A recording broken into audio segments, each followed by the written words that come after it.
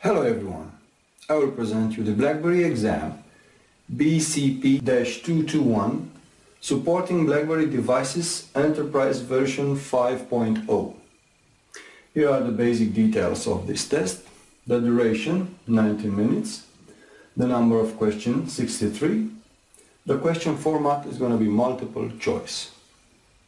Here are the main technical tasks that you need to know how to accomplish in order to be successfully with this exam. First, you have to understand the BlackBerry Enterprise Server functionality. 5% from the total of the question will cover this topic. BlackBerry device option and features, 11% from the total of the questions. BlackBerry device troubleshooting, 28% coverage. Security and the BlackBerry Enterprise environment, 10% from the total.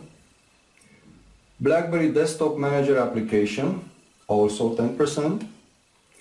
BlackBerry Desktop Manager installation, upgrade and setup, 10%.